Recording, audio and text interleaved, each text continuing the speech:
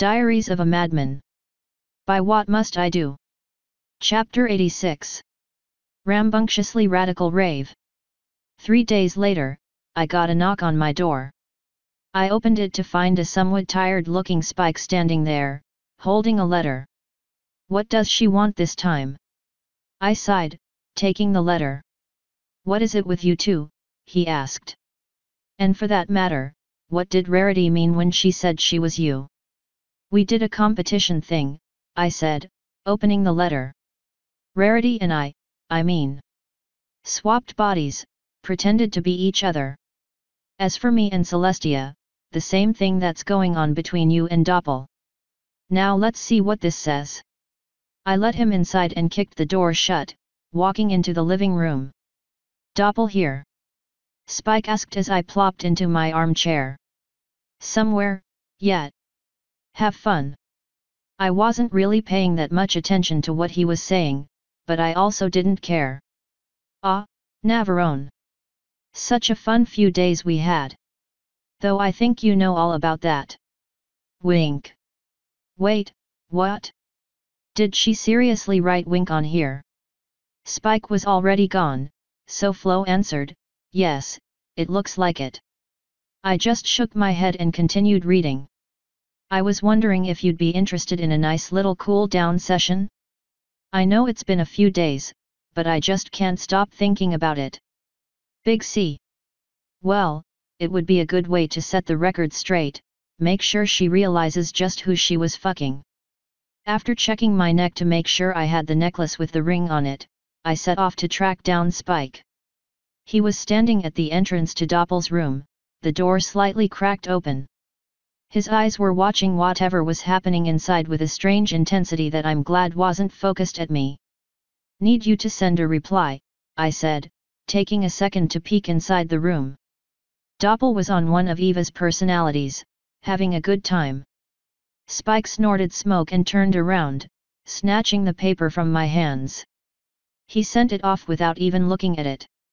I was about to ask if he was okay when I was teleported off. When I landed, I found that I was on a large bed. That's all I had time to see before Celestia's horsey body was on top of me, holding me down with her furry mass. She looked down at me with a smile. Before we start, I have something pretty important to tell you, I said. MMM, she hummed, her head getting closer to mine. The last time you saw me, that wasn't me. She blinked in confusion. What? Long story short, Rarity and I swapped bodies. Everything you did to this body was done to Rarity, not to me. That's... You're joking, right? The smile on her face transferred to mine. Nope. I had to go to some boring fucking statue thing in Detrot. The governor guy there is a total sleazebag, too. So I did. With Rarity. Yep. She was traumatized. It was really funny. That explains a lot. I'm really surprised you didn't realize something was wrong. Apparently, she was terrified. Well, I did realize you were acting strangely. But you passed the changeling test. I never once thought that might be the reason. Ah well. So, we gonna fuck or what? I'm afraid not. All the plans I had were for the things that apparently Rarity enjoys. And. Well, I need to have a talk with her now. Ha, sure. A talk. She narrowed her eyes, glaring at me. I would not do that to some pony like her, not on purpose. I will have a chariot drawn up and we'll ride back to Ponyville together. That'll save me the energy of having to teleport you that distance. If you go in that chariot thing, you just know Twilight will be all over you before you even land. Also, get off me, you're heavy. Are you calling me fat? she asked, rolling off me and onto the floor, catching herself before her body hit the ground. I'm not saying you're fat, but you're fat. I was trying to sit up, but that became hard when I caught a wing to the face. It knocked me back and I coughed, a feather in my mouth. Hum? Oh, sorry. Just stretching. Since we can't use the chariot, we'll just fly. Stretching, my ass, I muttered, picking myself back off the bed. Well, I was going to, she mused, rolling her withers. Rarity quite enjoyed that. Let me tell you, I was really surprised, not that I was complaining. I don't even want to know. You ready to go? Yes. It's been quite a while since I've had such a flight. Do you want to make a game of it? No. Let's go. Oh, you're no fun. Are you really so afraid of losing that you won't even try? Is it a crime to want to enjoy a nice flight? Or to spend some time with you? Christ, if you want to go fast, we can just teleport there. If you're afraid of losing, you can just say so. I won't judge you. That's nice. We going or what? I was starting to get annoyed. She smirked at me. You're starting to get annoyed, I think. Did I strike a nerve? Bitch, I'm about to strike a nerve if you don't leave me be. Just for that, I hopped off the bed and used my wings to propel me onto her back. I'm riding you into Ponyville. I think we both know how well things went for you the last time you tried this. Yeah, but that was in your dreams. I bet you'd love to be broken in and treated like my personal horse, wouldn't you? All the little ponies watching their big princess get dominated and ridden like a common animal, brought low by the big, predatory human. I leaned down and gently bit the back of her neck with my canines. To my surprise, she actually moaned and arched her neck backwards. Wait, you actually get off too. Her horn lit up and tossed me onto the bed. Rarity can wait, she huskily whispered, turning to me. Make me your animal. Whelp. The next day, I realized why riding horses bareback is a bad idea. Totally worth it, all things told, but Christ. Also, I had a pair of visitors. Who are you? I asked, looking down at the changeling on my doorstep. Oh right, sorry, she answered, turning into Bon Bon. Lyra, stop messing with his flowers. The named pony walked into my view, looking at Bonnie. Hey, he has some really pretty ones. Then she looked over to me. Hiya, Nav. You ready to fuck? I think Bonnie and I were both taken aback by that. Do you really have to be so, upfront about it? Bon Bon sighed, a hint of a blush on her face. Why sugarcoat it? she asked, shrugging. He knows why we're here. Actually, I have a confession of sorts to make, I said. That wasn't me who agreed to it. What do you mean, it wasn't you? Bon Bon asked. I know it wasn't a changeling, because I was there. When Lyra asked. At the top of her lungs. She turned to glare at her partner. In the middle of the market. She looked back to me. I would have known if you were a changeling. Long story short, there's a spell out there that allows two people to swap bodies. Rarity and I swapped bodies that day as part of a bet. She thinks I'm a total slut and will fuck anything that moves. Well, aren't you? Lyra asked. That's beside the point. I do have some rules. One of those is that I don't do anything with married or dating couples. It's an honor thing. Bon Bon seemed to let out a sigh of relief, but Lyra looked almost disappointed. How else can we ever repay you? she asked, honestly sounding distraught by living together happily. And I might need to ask a favor later, but I'll leave that for if I do end up needing it. Bonnie smiled. I won't say I'm disappointed, that's for sure. One is more than enough for me. Two? Celestia, I don't think I could handle two of you. I we do have some, other questions for you, though. Do you think you could help us? Depends. What are the questions about? Adoption. Come on in, I sighed, backing away from the entryway. I'll answer what I can. The two of them stepped inside and I pushed the door closed behind them, then led the way to the living room. Make yourselves comfortable. You two want anything? Lyra opened her mouth, but Bon Bon cut her off with, We're fine, as she sat on the couch. Lyra looked somewhat disappointed, but joined her lover on the couch. I sat down in my chair, happy that none of them could fit easily in it. Well, what do you want to know? First, how did you go about adopting Taya? Bonnie asked. My method was rather, different, I imagine, than how most would go about it. I found her in Egypt and brought her here. Celestia gave her the choice of staying with me or going to the orphanage. She stayed with me and that was that. If you wanted to adopt, though, you'd probably want to go to Canterlot and find Celestia's orphanage. How did Taya take to it? Very well. It was by her request that she came with me, after all. I imagine you'd have to spend some time with whoever you wanted to adopt to see if you can get along. You'd be better off not adopting at all maybe finding a sperm donor if you can't find anyone at the agency you can get along with. That was the original plan, Lyra said with a shrug. But we figured we could help some pony, Bon Bon added. Besides, it might be easier to explain to some pony older why I'm so different. Whatever works for you. I wouldn't be surprised if there aren't many kids there, though, I don't think Equestria breeds many orphans. Probably not, but we'll try, Bon Bon said. Have you had any big, problems with Taya?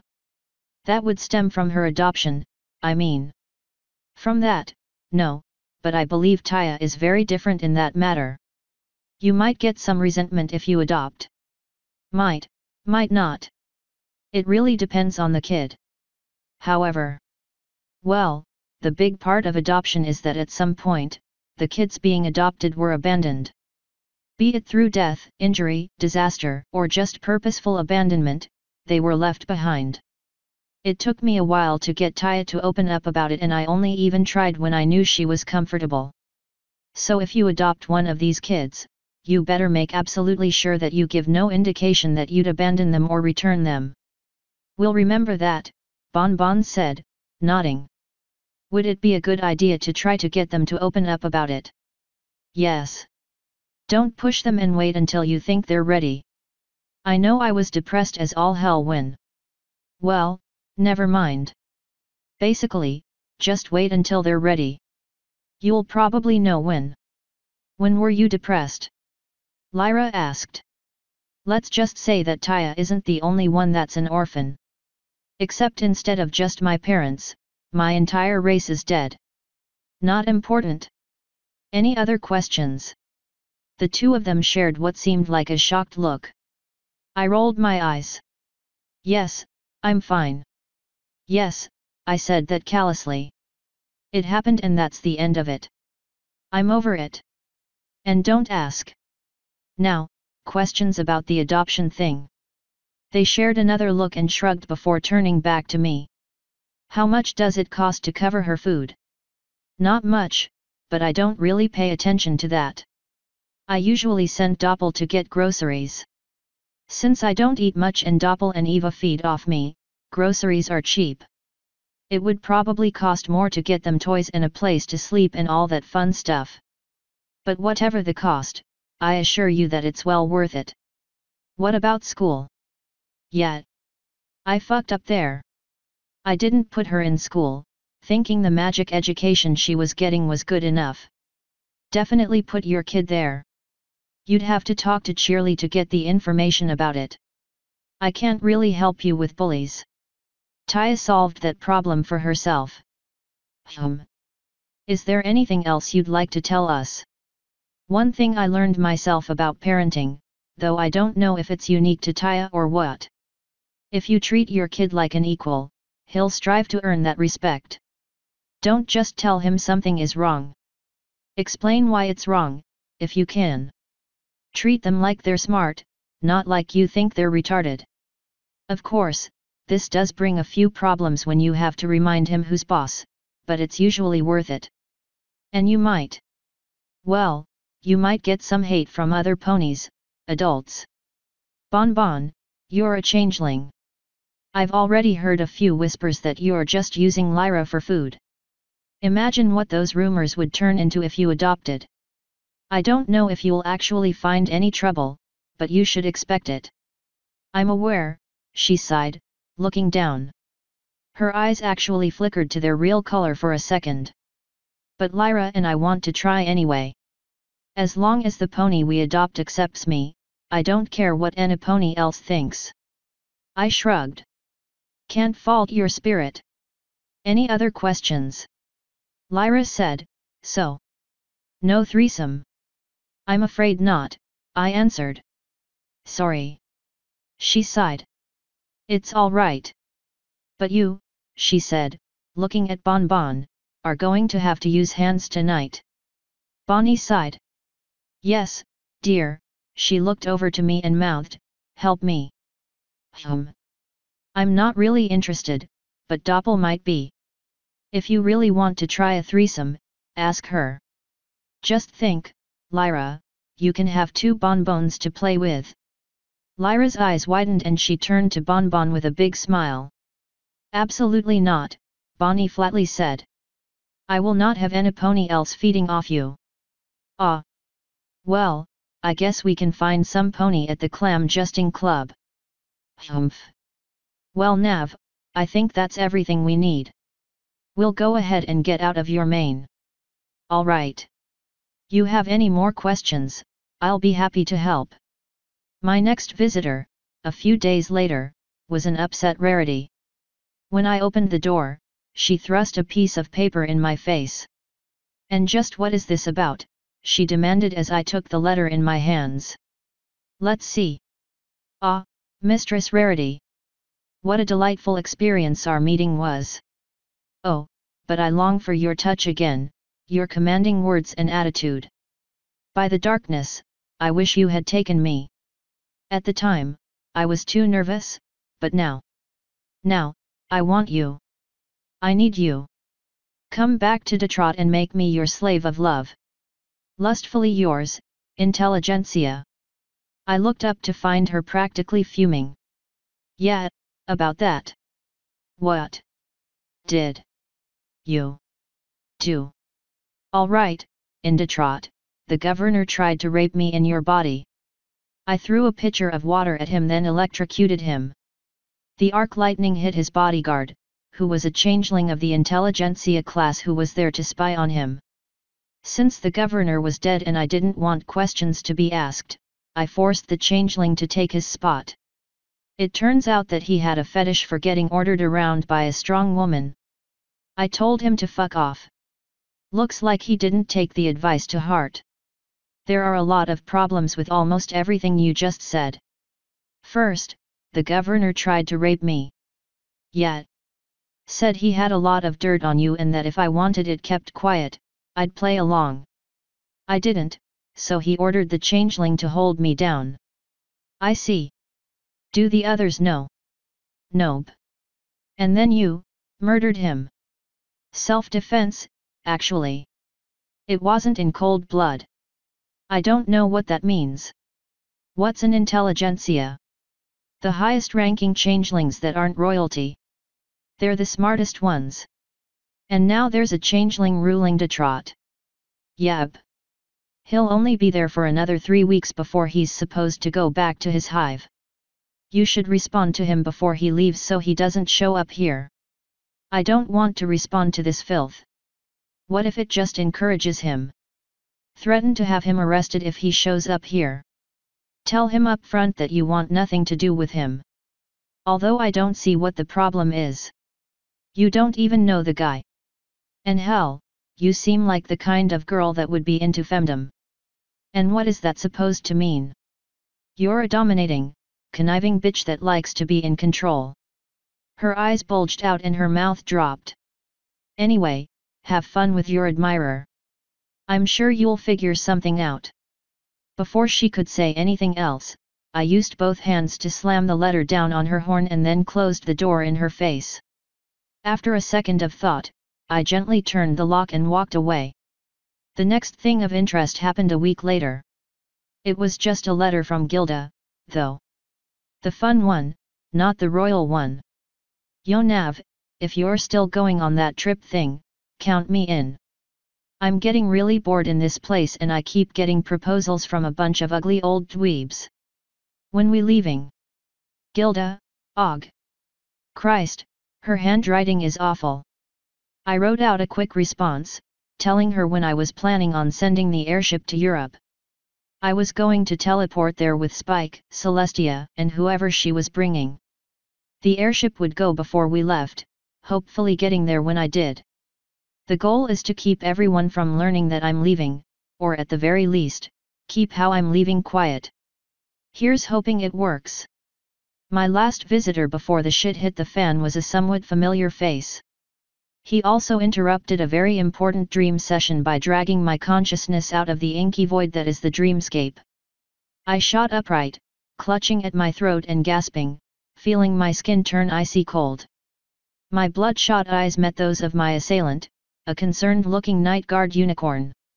What's wrong, sir? Watcher immediately asked, putting a hoof on my shoulder. Never. Wake. Me. Up, I hissed, the feeling of getting forced out of the dream zone finally subsiding. He blinked in confusion a few times before the realization struck him. You're helping the princess with dreams, aren't you? She forbids us from waking her when she's in that state. I was. Now I know why she forbids it. Christ. I shivered and ruffled my wings, trying to shake off the goosebumps. The fuck do you even want? To report a few things. How awake do you feel? About as awake as you'd feel after having a gallon of ice water poured on you. Neither of the princesses seem concerned about Discord's probable return. Both of them mentioned the elements of harmony. I don't know if they're hiding their concern to keep morale up or if they truly don't believe it's a problem. Is it? All signs that I see point to yes. I got access to a prisoner that worked with assassins some months ago, the ones that tried to attack Cadance and her foal. He's a mad pony now, with no filter of any kind on him. He spoke of a mix and matched monster that haunts his memory. That's all I could get from him before he broke down. And I was part of a team that assaulted a monastery on the other side of the planet. By the time we got there, only a few survivors remained. Each was stark raving mad and close to death. One spoke of a unicorn with a destroyed but active horn. Two wailed about a creature of legend and madness come to spread chaos to their minds. One old pony just rocked back and forth, muttering about seeing forever. I heard he withered away in prison. The only coherent thing we got out of him was a single word. Anonymous, whatever that means. That hit me like a brick. Anonymous. I whispered, blinking. How would he know that name? That's a name. Watcher asked. Who is it? That could help with our investigation. It's, a human thing. I just can't imagine how a pony could have known about it. But yes, all of this definitely points to something. Something big. Did you show the first prisoner pictures of the statue? I did. That's what made him break down. He did say one thing before I was forced to leave, though. Empty. That's all he said. I believe he was referring to the statue. When he said that, I remembered what you told me about it being hollow and went to check on it for myself. There's nothing in there. I'm positive he's free. So what do we do? If the princesses didn't believe you or Reginald, they won't believe me. And what can we do against something like him? Us, nothing. And you're right, they wouldn't believe you. Which is what led me to a conclusion. You, Sir Navarone, are hiding something. Something that might give us an edge, I believe. I won't pry, though Celestia knows I could. No, I decided, and my troops decided with me. We're going with you, if the offer still stands. I felt a smile coming to my face. It does. It's, good to have you and your hardened troops aboard. Before we leave, though, you'll all have to muster out of the guard. I don't want any old allegiances pulling anyone behind. I have nothing but veterans. We're all due for retirement. And if we come back wanting to rejoin, I believe Celestia will allow it. Excellent. Make the arrangements. Let me write out the information you'll need, as I rolled out of bed, I felt a growing sense of elation. Sure, an old eldritch horror was probably running free and seemed to want to finish the extinction he started millennia ago, but everything else was looking up. I had my griffin and I had a battle-hardened group of soldiers with me. I was starting to feel more confident about the coming trip. Okay, not quite the last thing. A few days after that, I received a reminder in the mail about a party I was forced to go to, Luna's so-called rambunctiously radical rave. I swear to God, these damn horses need to get better PR departments or something. These names are awful. Either way, I got the official invitation, which for some reason implied that I had a choice in the matter. It did not come with any secondary invitations for a date. I decided to show up with one anyway, because it's not like the guards would stop me and pissing Luna off is always fun. Picking who to take was the hard part. I mean, it was already narrowed down to Pinkie and Rainbow Dash, but I didn't know which of those would enjoy it more. In the end, I flipped a coin and decided mid-flip that fuck Pinkie, I was taking Dash. After all, she's less annoying and wouldn't annoy me all night. It never occurred to me to take Doppel or Eva, strangely enough. Which, as it turned out, was a good thing. Now, hunting down Rainbow Dash is a pain in the ass. Always has been. When she's not napping in the weirdest places, she's flying around at the speed of sound. Well, usually slower than that, but she does randomly break the sound barrier for the fun of it. Probably the easiest way to find her is to ask Pinkie, I've found. Unfortunately, that means talking to Pinkie. And also finding Pinkie. When I looked in Sugarcube Corner, Mrs. Cake was behind the counter. Do you happen to know where Pinkie is? I asked, already dreading the coming search. I believe she said that she was going to hang out with Rainbow Dash today, she answered with a helpful smile. God fucking damn it! She didn't happen to say where they were going, did she? I'm afraid not. You know how she is. Unfortunately, I do. Very well, then, let the hunt begin. Hunting Pinkie Pie truly is the most dangerous game, assuming you consider getting snuck up on and spooked dangerous. The closest of her main friends' houses was Twilight's library, so that's where I went first. I was expecting Twilight to be there with Taya, but instead all I found was a bored dragon lounging on a beanbag and reading a geography book. He looked up when I walked in. Dude, can we talk? he asked, tossing the book aside. Sure. What's the subject?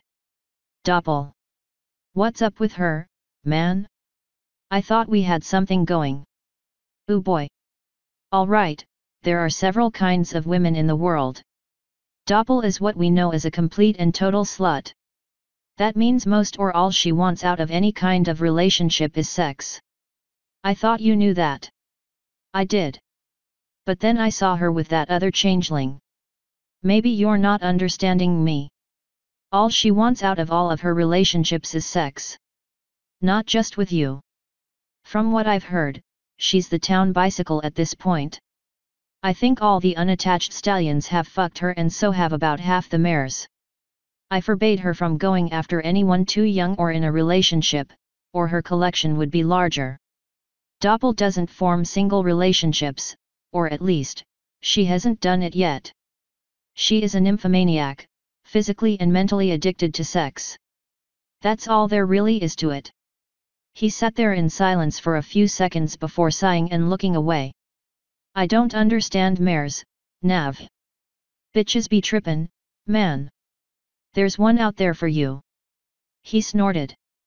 Yeah, if I keep looking. He looked back to me. After Rarity and Doppel, I don't know if I want to. You've got a long life to live. Don't swear off relationships based on two bad experiences. Besides, Doppel wasn't even a bad experience. Just not what you expected. I never said I would swear off relationships. Just off mares. If you go gay, I won't promise to wingman for you. And you know that would just prove Rarity right. No one wants that to happen. Ah, you're right. I'll think it over. What was it you always said about stuff like that? Give it time. I guess that's what I'll do. Besides, how would guys even have sex? That seems like it would hurt. Eh, they don't mind as long as you're gentle and use plenty of lube. Ask Doppel to let you try anal next time you see her. Nah. I think I'm done with her for a while. That was fun, but I'm not certain I want to deal with her again. Besides, what if I walk in on her again? Just go over and join the fun. I bet she wouldn't mind a threesome. That's. Hey. So more than one can. Hmm. Yet. Now before you ever ask a girl that, know that some will find it insulting that you even asked them. And a lot of guys don't like the idea, either. Have you ever had one? Yet, but both times I did it, there were two girls. And then there was that orgy when I was drugged, but you were there for that one. I, forgot about that, actually. That night was a haze. I still don't remember any of it. Anyway, do you know where Pinkie or Rainbow Dash is? Nope. Do you think Twilight would know? I doubt it. She was taking Taya down to one of the lakes to do something with water and magic. Damn. Maybe I should just wait until tonight and break into her dreams. Dude, what? Break into somebody's dream. Yet. Being Luna's night has some interesting perks. Being able to do weird shit with dreams is one of them. Can you get into mine? Nope. I can only get into pony dreams. If you were attuned to the device thing, I could possibly get into yours. Ah. Oh well. You're not missing much. Mostly I just fuck with people and give nightmares to those I don't like or want to scare. I occasionally also bust bad dreams. Gives me something to do. Anyway, I need to go find Dash. Good luck. I turned to go, but stopped when he said, just a sec. Are you sure Doppel wouldn't mind a threesome? She probably wouldn't. You can't know until you ask, though. Would you? I'll think about it. See you later, Spike. I quickly let myself out before he could say anything else. Christ, that's awkward as hell. Could be worse, Flo said. At least he's asking for a threesome with a girl instead of a guy. Or just, you know, to have sex with you. True. Still, it's odd. And I'm not certain I should go for it. You really shouldn't, but it's been over a week since you last had sex. Just because you aren't addicted anymore doesn't mean you can't at least have some fun. I know how much you normal races enjoy it. That isn't the point and you know it. Should I really do something like that with a good friend of mine? I don't know if I should risk that kind of awkwardness. I don't think he'd hold it against you if you didn't. But it would be a new experience, to spit roast someone. That you even know that word is strange. Using it is even stranger. I'm not a goddess of decorum, Nav. I can let my figurative hair down. Speaking of which, you never did let me try sex in your body. Fine. You can play with Doppel tonight, if she's up for it. No gender stones, though, at least not tonight. Something to look forward to, I suppose. I'll try to mimic you. Not like I'll be watching. While that internal dialogue was going on, I was walking through Ponyville, trying to find any sign of either the prismatic lesbian or the pink menace. I couldn't see hide nor tail of either of them, which really wasn't all that surprising. Ponyville wasn't a large place, but it was still easy enough to miss someone if you didn't know where they were. I finally found Pinkie in front of Rose's house, seemingly directing Rainbow Dash as she maneuvered an unpleasant-looking cloud into position near the door. I was tempted to stand back and watch, but I had a feeling that the two of them would fucking bail as soon as they finished whatever prank they were doing. With that in mind, I walked up to Pinkie. Can I borrow Dash for a sec? I asked. Does it have to be now? Pinkie replied. No, but it took me a while to track you two down and I really don't want to have to do it again. I just want to ask her something. Silly Navi, she's a lesbian. She'll probably answer no. I don't even. Dash. Get down here for a sec. Also, don't call me that. Rainbow flinched when she heard me calling for her, but when she realized it was just me she didn't waste any time joining us on the ground. What do you need, Nav? What do you think of rave parties? They're alright, I guess. Why? Luna's hosting one. I figured you'd enjoy it. Want to go? As I was expecting from asking that question in front of Pinkie, she was suddenly all up in my face. Ooh, ooh, can I go? No. Dash. Could be fun, I guess. When is it? Why can't I go? Pinkie whined. Because I can probably only get one other person in. It's in three days, at night. The invitation said not to dress up. Alright, I'm in. Although if Pinkie really wants to go.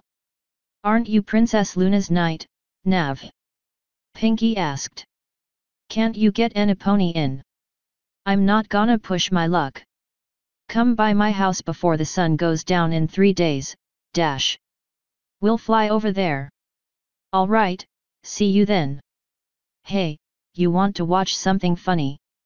I had a suspicion of what they were planning to do and I really didn't want to watch that.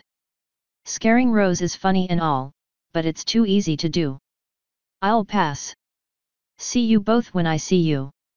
And Pinkie, if you get a chance, pay Spike a visit. He seems pretty down. As evil as it seems to unleash Pinkie upon someone, I knew she could probably make him smile somehow. She's good at that. I'll be sure to pay him a visit. After we finish up here, of course, Dash took off again and went back to the cloud. I just shook my head and walked off, heading back towards my not-so-humble home. That night, Flo got to pop her figurative cherry in my body. It was, surprisingly erotic. Actually being able to see Doppel's reactions from a detached perspective was amazing and well worth the awkwardness I went through. The day of the party was bitingly cold and snowy. Not at all something either Rainbow Dash or I wanted to fly in, though she pretended she was okay with it. Thankfully, she arranged for a path to be left in the clouds for us to fly out. It would still be bitingly cold, but it wouldn't be snowy. All I had to do was follow the damn pony. You better go slow, Dash, I said, putting on a heavy coat. The wing slits in the back slid closed over the protrusions. If I lose you, I'm going up to break the cloud cover. That would be a bad idea. You should know that by now, Nav. If you try going above the clouds, you might get lost up there. There's a simple solution, then, I replied, smiling. Fly slowly. Ugh. Fine. But if we freeze to death on the way because you took too long, it'll be your fault. I'll keep that in mind. Next time we can just go by train. Rainbow Dash snorted. That slow thing? Yeah right.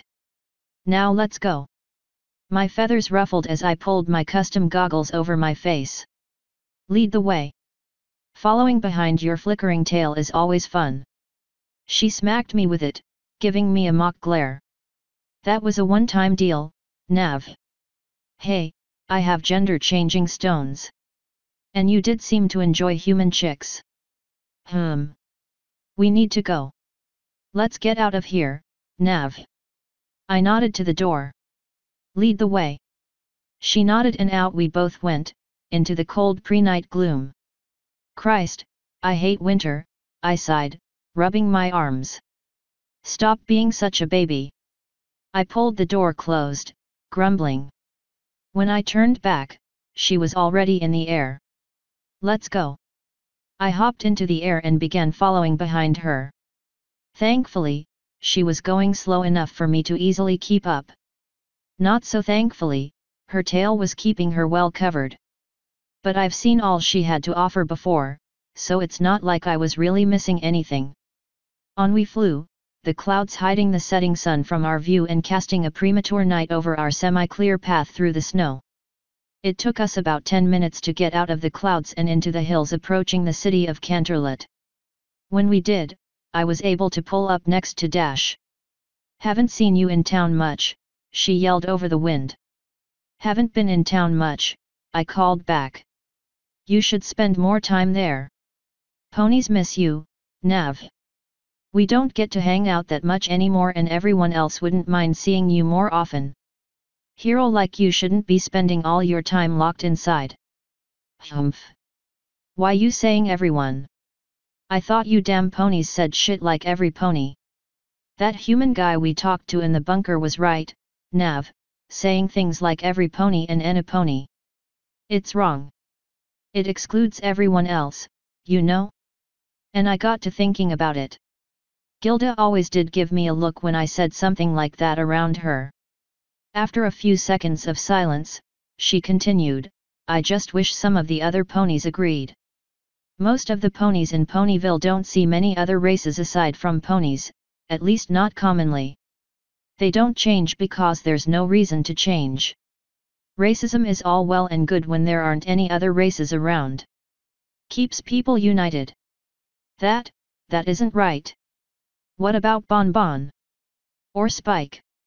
Or hey, you. What about us? Until recently, Bon Bon was just as much a pony as anyone else there.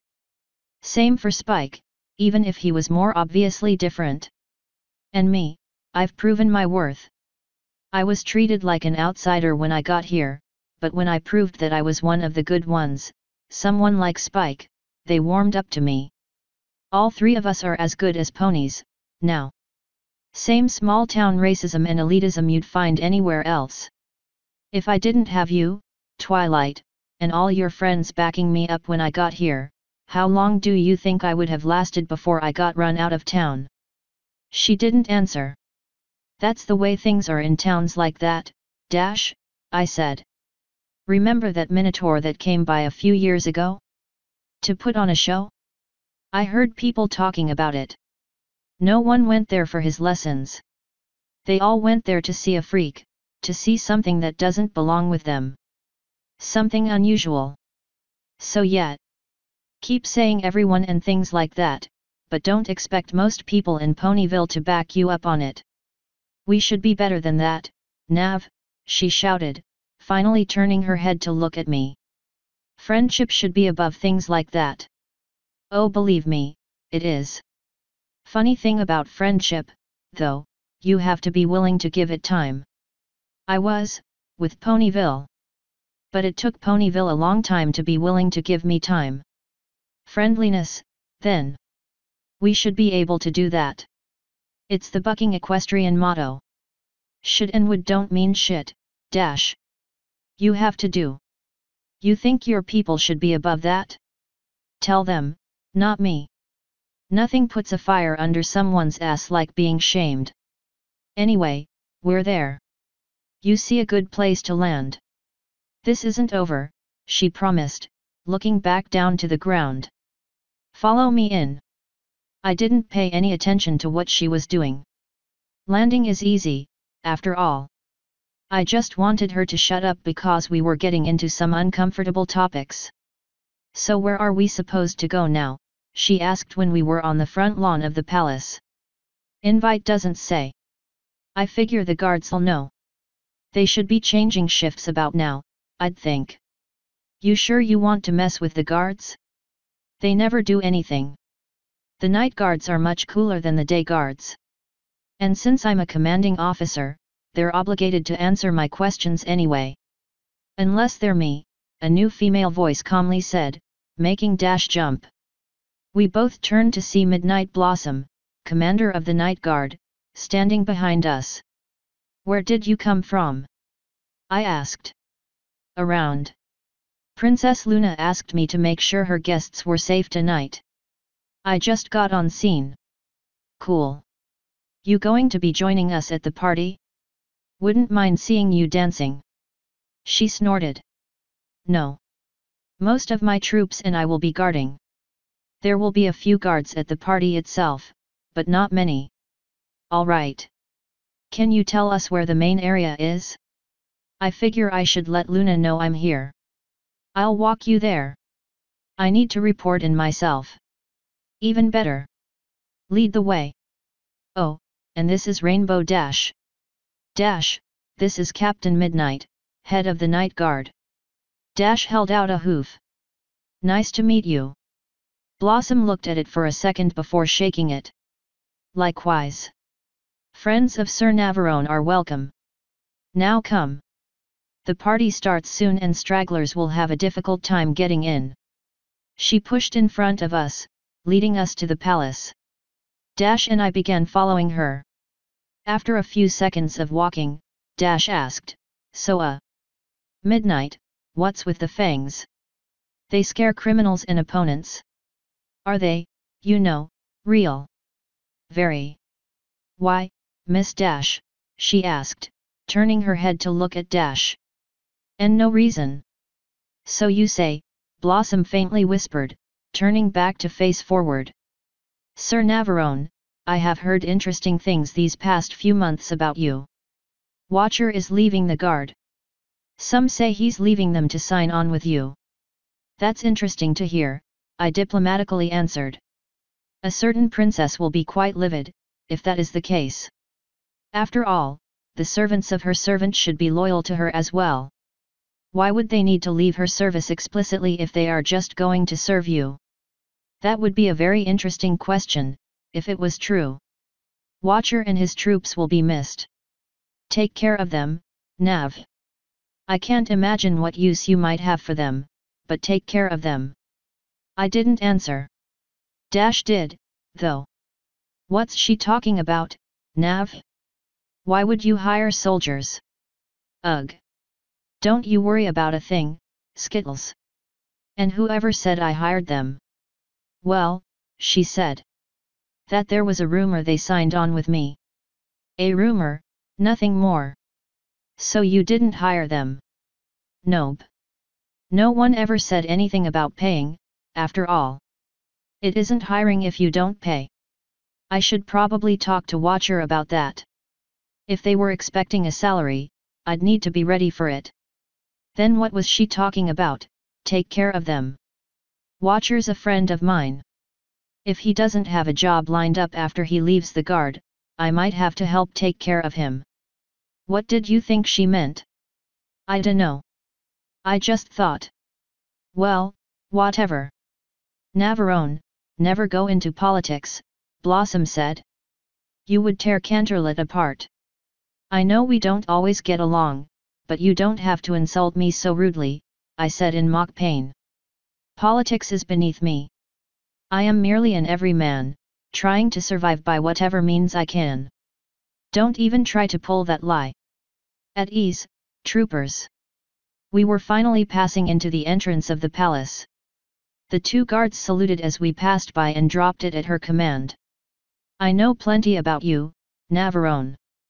More than enough to say you're exceptional by pony standards. Human standards, I can't say. Exceptional, eh? If you're finally interested, I can skip out on the party and join you instead. I'm sure we can find a nice secluded spot. No. The princess wants blood, she needs you at the party tonight. Never heard that expletive before. She'd stake me up to dry if I let you skip this thing. I sighed. Ah well. You sure I can't sneak out once it starts? You don't know what kind of party this is, do you? Some kind of stupid rave, isn't it? I don't like those newfangled things. I'm only here because Luna's forcing me. And Dash is only here because I figured I could use her to piss Luna off for a few seconds. Hey, what? Blossom snorted. Foolish but it's done. As for the party, well, I have a feeling that you'll be surprised. Princess Luna and some DJ called Vinyl Scratch prepared very well for this event. Everyone that's involved will definitely remember it for some time. Blossom, are you ever excited for anything? I asked. I swear, your voice is as dead as mine. A long career in a job like mine doesn't leave much room for excitement, she answered just as dryly as everything else had been. True enough. Where the hell is Luna, anyway? The assembly hall. You two are early, as you should be. I'm surprised that the princess hasn't yet told you what's going to happen. Personally, I didn't really care. Dash did, though. So what is going to happen? I could see the sides of Blossom's face perk up in a mirthless grin. Why, you're going to take a little nap. Now, of course I know what she was talking about, but Dash had no clue. What's that supposed to mean? You'll see, I told her. This party just got interesting. And I guess that explains why Luna would need me. That's one reason, yes. Moral support is another. She hasn't done anything like this since, before. And even then, it had been several years since she bothered. She wants to know she has someone she can count on next to her. Then it's a good thing I brought Dash here. If you can't depend on the element of loyalty, who can you trust? Dash sighed. She meant you, dude. Neither I nor Blossom pointed out the obvious. When we finally got to the large gathering hall, we found several off-duty night guards talking in small groups. A few early guests mingled as well. There was a small refreshment table set up for early comers. I saw Luna standing next to a large covered object on the stage of the meeting hall, nervously shifting her position. Two guards flanked her. Vinyl Scratch stood in one of the groups of early visitors, talking. Luna's eyes seemed to light up when she saw us and her nervousness vanished. She did seem somewhat put off by Rainbow Dash, but it wasn't as bad as I was hoping. Either way, she didn't move as the three of us walked over to her. Midnight saluted when we were closer. Reporting, Princess. I see that, Captain. Every pony is in position, I assume. The salute dropped. Yes, Princess. No signs of trouble on the way in. Permission to observe from the shadows. Do what you do best, Captain. Everything should begin on schedule, at this rate. Blossom saluted again for a short second before walking between me and Dash, going back the way we came without a word. So why are you up here instead of out there? I asked before Luna could say anything, nodding toward the small crowd. That would be, improper, she hesitantly answered. It might have been a thousand years ago. Now you just seem like a dick. You should be out there, socializing. Perhaps. Navarone, why is loyalty here with you? It's Rainbow Dash, Princess, Dash said before I could answer. Fastest flyer in Equestria. Neither of us even spared her a glance. She likes rave parties. I figured I could bring her by. I assumed you wouldn't mind. I see, Luna answered, her tone icy.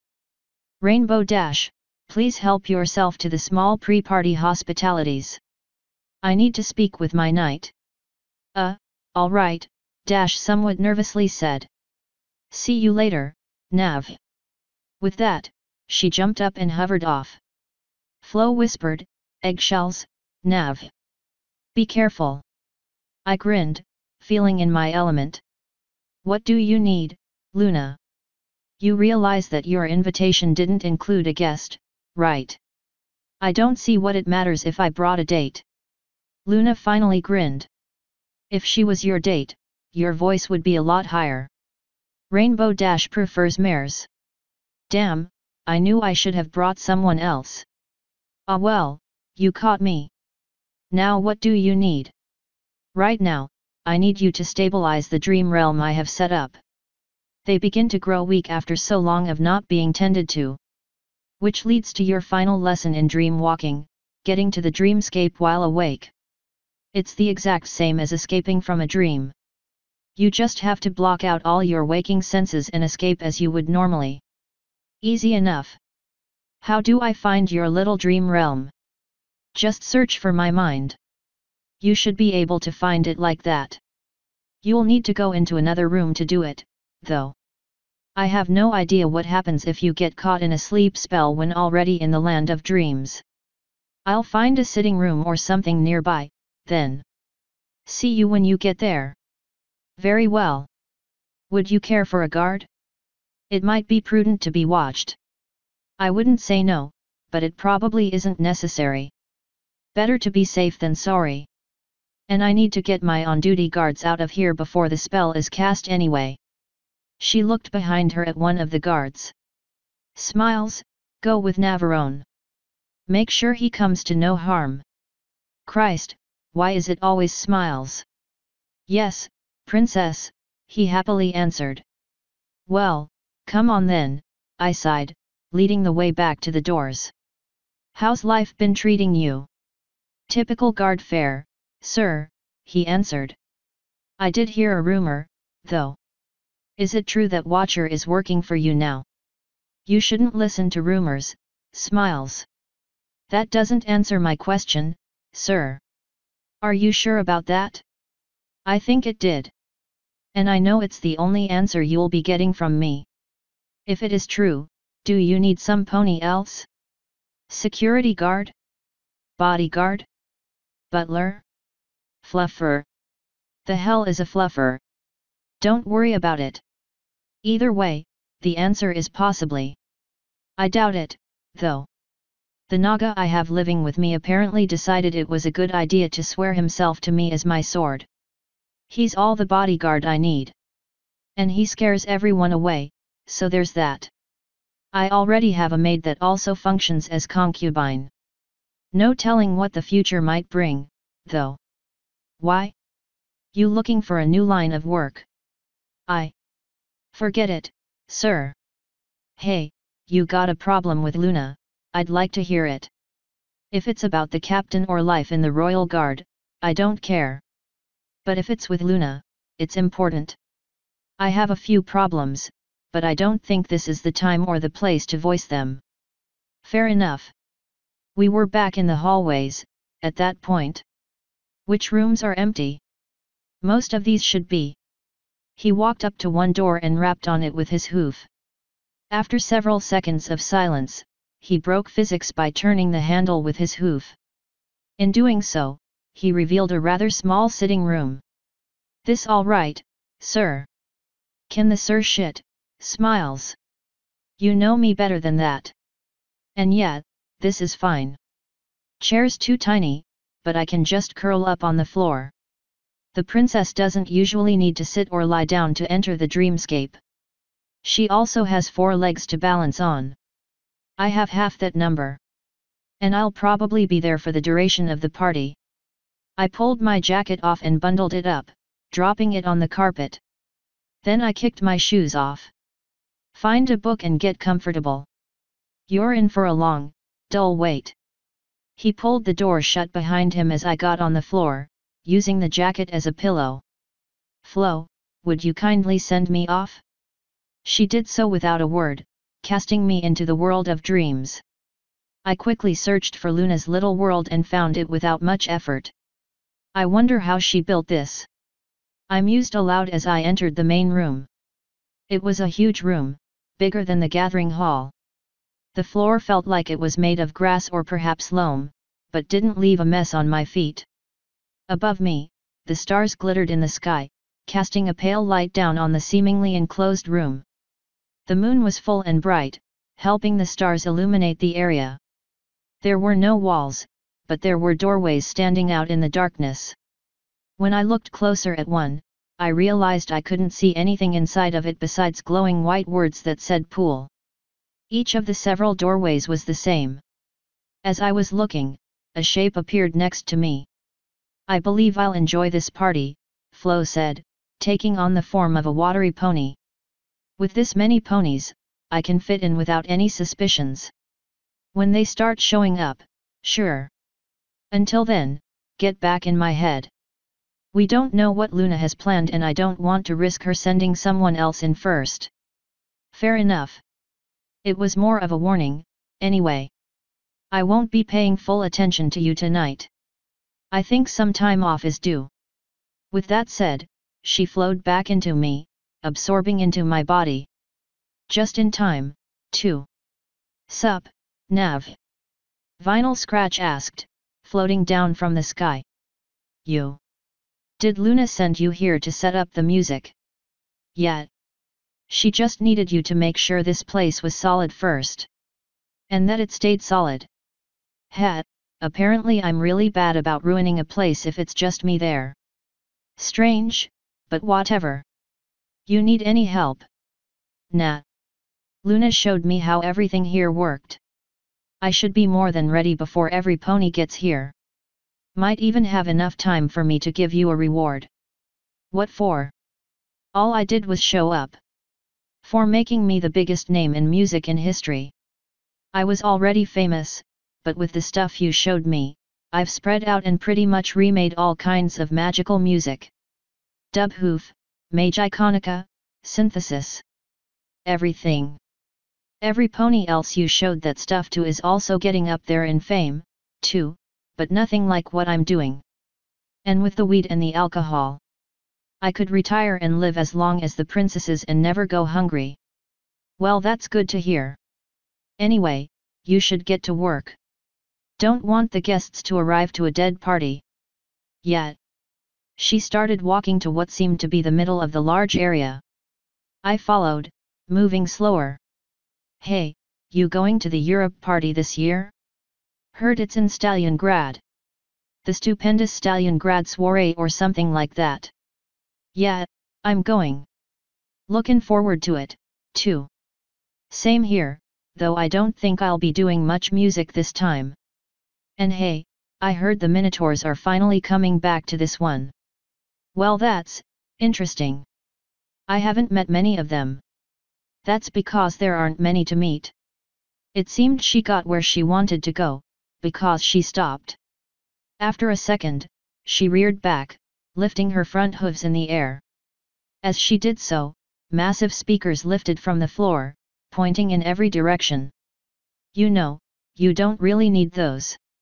In this place, you can make music as easily as thinking about it. To demonstrate, I started playing a song in my head and projected it outward. Yeah, I could do that. But this way, we don't have to worry about any pony else thinking a song into existence and messing up mine. I'll be the loudest one out there. Fair enough. She pulled up some kind of soundboard and began fiddling with it. These speakers are mostly for show, anyway. For their benefit. In effect, I will be doing what you said. But having these speakers here means that every pony will think the music is coming from them and they won't even try to interrupt me. Nice. So you're pretty much set up, then. Yep. I'm gonna see you out on the dance floor, right? Unlikely. What? I like this music and I have danced to it before, but that's not really my thing. I'll be around, but probably not in here that often. Is there going to be an orgy room? Vinyl sighed. I tried, but apparently Celestia wouldn't allow it. There are private rooms, though, so if you can get enough ponies together in one, you're free to have an orgy. Just let me know if you do, I'll be sure to jump in now that you aren't drugged. I'll keep that in mind. When's this party slated to start? Oh, we still have half an hour or so. Plenty of time, I think, she finished, smirking. Her horn lit up and my pants slid down. After a second of thought, I made her glasses disappear. Tell me again how beautiful my eyes are, she whispered, looking up at me as she glided her mouth in for a special kiss. The first guests began appearing just over half an hour later. Vinyl and I had finished before then, of course. The first dozen guests in were rather confused, looking around the landscape in shock. I figured that might be my cue to actually do something useful. Standing up on shaky legs, I walked out of the circle of speakers and closer to the growing mass of ponies. Welcome, all, I quietly said, using my mind to amplify my voice. Welcome to Princess Luna's Dream Wonderland. Vinyl was suddenly beside me. Hey, every pony! Who's ready to party? None of the regular ponies, it seemed. Some of them actually looked scared. All of Luna's off-duty guards looked considerably livelier. Where are we? One voice from the group of normal ponies asked. You're in a dream, I answered. Here, anything is possible. You just have to will it. As I said that, I held up my hand and encompassed it in flowing water, a ball of the stuff cooling me quickly. When I finished speaking, I clenched my fist, freezing the entire ball of water into ice. There were several gasps when I showed off the power. I quickly let the ball of ice evaporate away, replaced by fire. No danger, no pain. It's the perfect night of wonder. Now let's hear it for our host, Princess Luna. I waved my firearm behind me, the flame going out as Princess Luna stepped forward, acknowledging me with a nod. The only reason I knew she was there was because I felt her enter. Dreamwalkers have a certain feel they bring with them to a dream that I found after spending some time with her in various nightmares. When the small number of accolades were finished, she began talking. Welcome, every pony, to the first rambunctiously radical rave. As Sir Navarone told you, here, anything is possible. She suddenly grew a foot, turned white, and her hair changed to Celestia's. You can look like whatever you want. She even got the voice right. Not that any pony would like to be in this ratty old body, that is. When she finished that statement, she turned back into herself. There are several portals set up in this chamber, each leading to a different area of the party.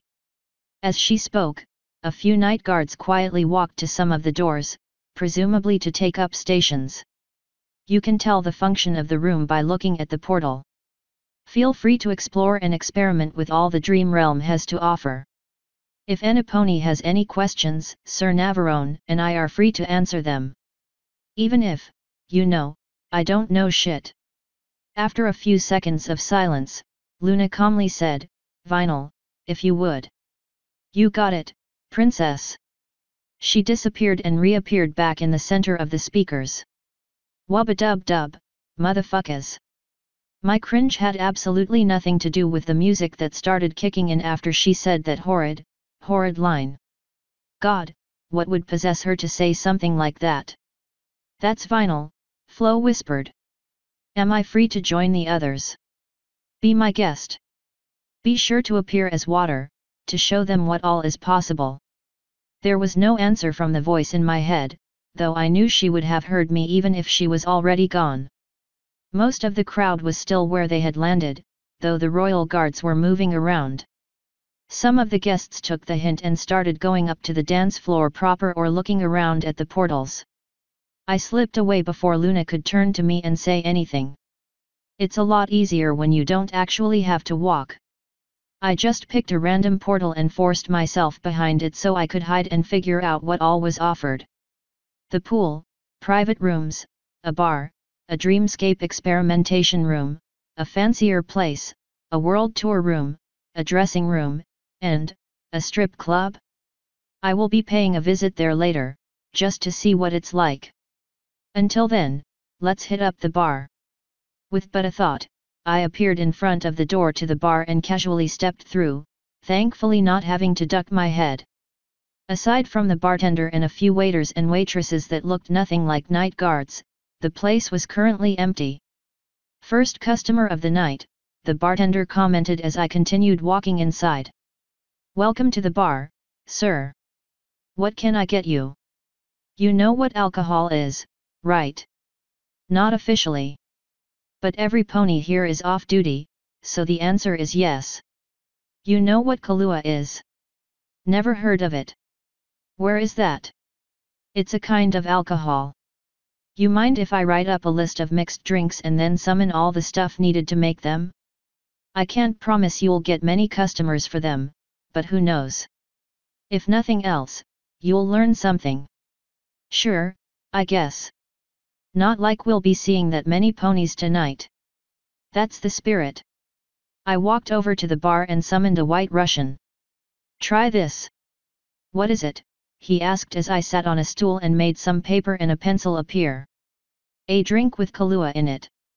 You ponies like sweet things, right? The bartender was trying the drink, so a waitress answered me instead. Most of us do, which is why alcohol isn't all that popular. Well, a lot of these drinks will be sweet. Sadly, I didn't have Flo's perfect memory to guide me. But I did remember plenty myself from the laptop, so it wasn't all that hard to make up a decent list. Not half bad, the bartender said, setting the empty glass on the bar. Yet. I didn't get to drink much back home, but I found I had a thing for Kahlua. Need to make me some of that. Be careful about saying that, Sir Navarone. We may be off duty and you may be a knight, but we're still guards and this stuff is technically illegal. I'll keep that in mind, I dryly answered. It's a good thing I can't get arrested for what happens in a dream. The waitress was still right next to me, so I gently slapped her ass. Her eyes jerked open wide, her mouth dropped, and a massive blush covered her face. I didn't pay attention after that, though, because I was talking to the bartender. See if you can make me a zombie. Here's what you'll need, I started pulling alcohol from thin air, enough to make an alcoholic jizz in his pants. I got plenty enough for the night, all set up on the bar. A zombie, was it? Weird name. Let's see the list. I pushed it across the bar and he read over it. Oh wow. That's, complicated. Everything you need and more is here. I figure if you can make this thing, you can make anything. I jerked up straight as I felt a hoof trailing my wing. I'll get on it, the bartender sighed as I turned to see the waitress feeling up my wing. I smiled at her and got a smile in return before that caress turned very painful and she put my wing in a lock, slamming it against the bar. Don't do that again, she sweetly said, or I'll break your wings. You got it, beautiful, I answered in a strained voice. The pressure increased sharply and for a second I thought I fucked up. Then she let go and stalked off without another word. Note to self, don't fuck with guards. The bartender snorted. Figured you woulda learned that a while ago. And just remember, every pony working here's a guard. You mess with one of us, you risk messing with all of us. Sir. Yet, yet. Didn't think she'd be that pissed over a joke. Guess I better stick to flirting with the civilians. With all due respect, sir, you shouldn't be flirting with the guards anyway. It's not proper for some pony with your rank over them to do anything like that. I didn't even think about that. Fuck I hate being a knight. Man, don't do any favors for a princess. Shit ain't worth it. I'll keep that in mind. Here, try this. He passed me a glass with a ton of different stuff in it.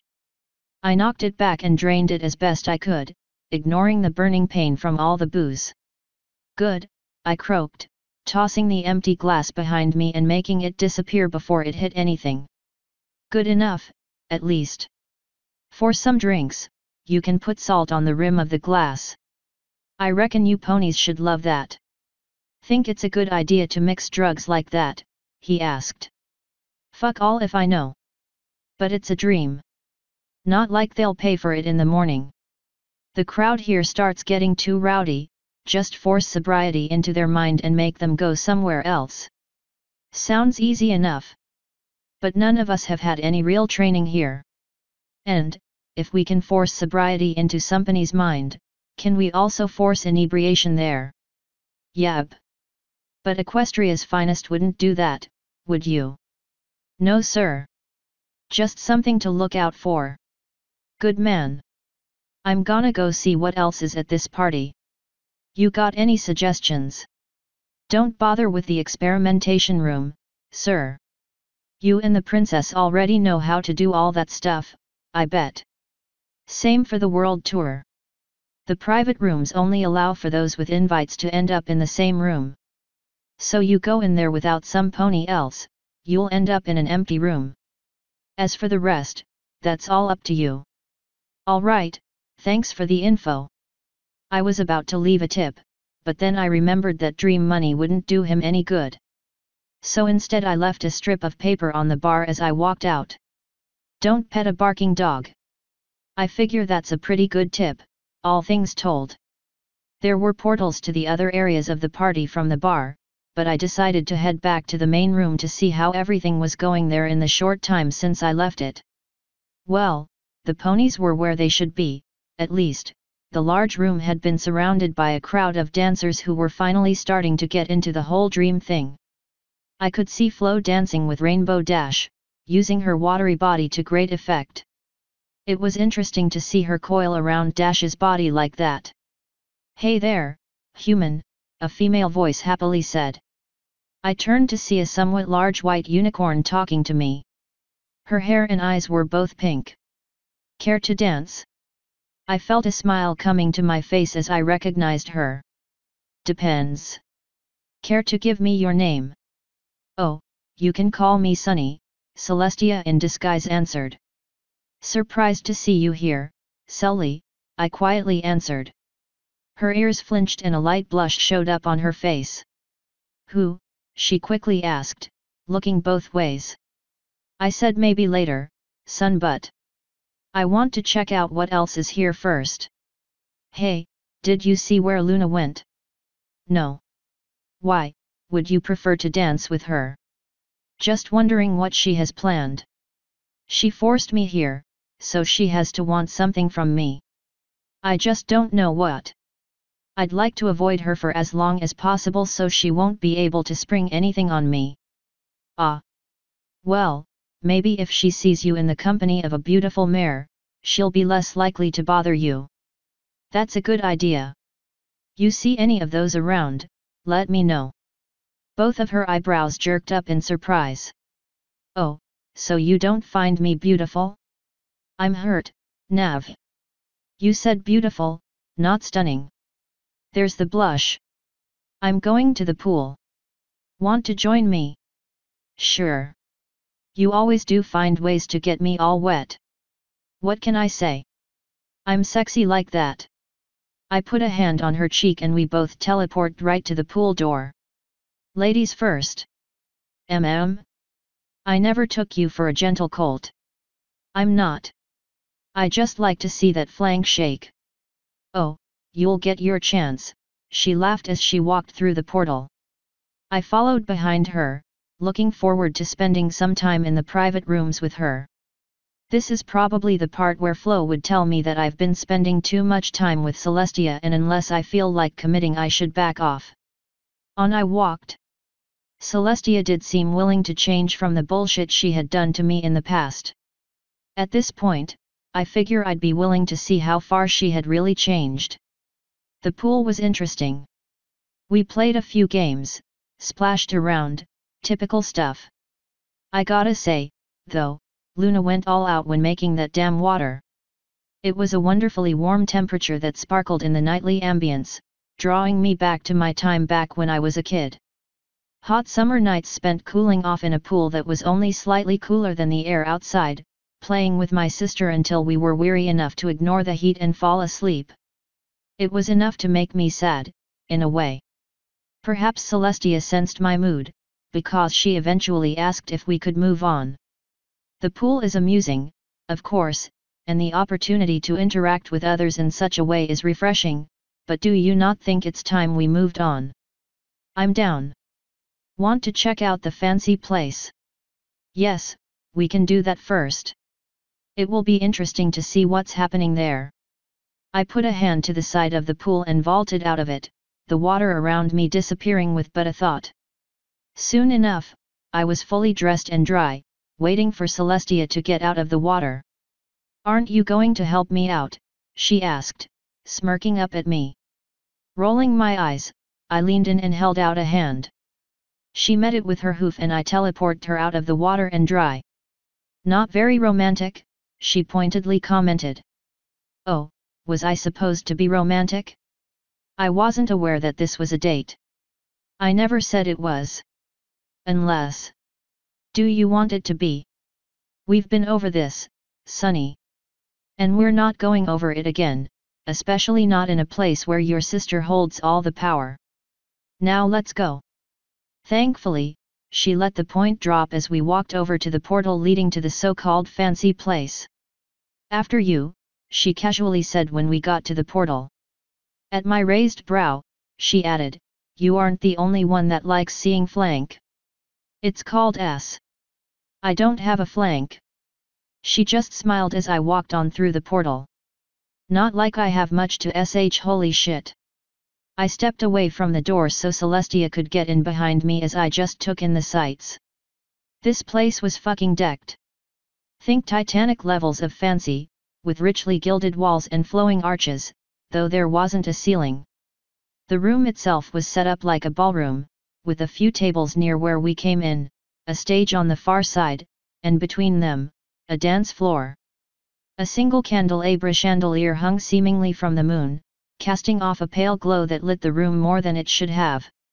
At a few of the tables sat groups, mostly couples, and waiters and waitresses in fanciful garb seemed to dance as they kept up with orders and requests. A few couples danced to the haunting melody played by Octavia and a few other instrument players. Luna really outdid herself here, I was finally able to say, nodding in approval. She had plenty of help, Celestia replied. You want to dance? When the next song starts, if it's one I know. For now, let's grab a table. We both walked together to one of the tables, with large tablecloths completely covering it all the way to the floor, nearer to the dance area. When we got over to one, I sat down. She looked at me disapprovingly. Not even going to pull out my chair. I rolled my eyes and used dream magic to push it back. There, happy. She daintily sat down. It will do. For now. With her grudging approval, I pulled her back in. As much as I despise magic, it's nice to be able to occasionally do some of this. Oh? You despise magic now, she asked, arching an eyebrow. I think you know my position full well. A new voice spoke up. Can I get you to anything? a tiny mare asked. No thank you, do, I answered after taking a second to dredge her name from my memory. We need anything, I know how to get it here. The little horse smiled, happy I remembered her name. Yes sir. If you do end up needing anything, don't hesitate to call. When I nodded, she wandered off. You know her? Celestia asked. Yet. Worked with her during the war games. Nice girl, really useful. She helped me break Luna out when Shiny went full retard. She burst into giggles at that. I know, it wasn't his finest moment. So, you have any more fun with Rarity? Rarity. Yeah, after you apologized for accidentally raping her. I figured once you finally found someone that liked getting pegged in the ass, you would spend more time with her. Or was she less than willing? Poor Celestia was blushing up a storm at that. I. I didn't, no. It isn't proper to spend time in such a manner with some pony we rule over. Oh, but it's okay if you do it with me. She got over the awkwardness and smirked. Navarone, no pony rules you. Not with any kind of chains. True enough. You want anything? Hunger or thirst isn't really a problem here, but tasting is still possible. She licked her lips, looking at me with half-lidded eyes. I can think of something I want. Before I could stop her, she slipped under the table. MMM. That was fun, she sighed, licking her lips. You have no shame. She giggled again. Of course not. I'm in disguise, remember? Besides, I'm sure Octavia will be discreet. After all, I think she was about to do the same thing.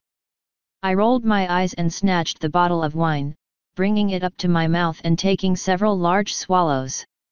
Well, you scared the main music player off. Time to move on. Very well. What did you have in mind? Do you know what the dressing rooms are? Just a chance for every pony to try on different clothing or different bodies, if they so choose.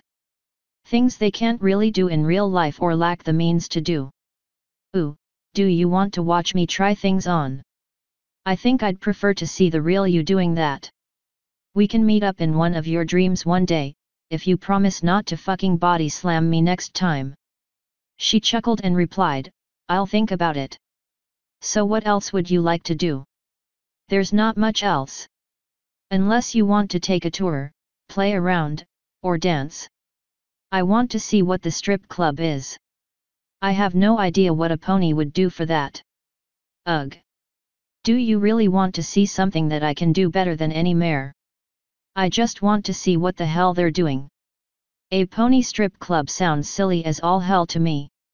You don't wear clothes anyway, so why would it matter if you started taking them off?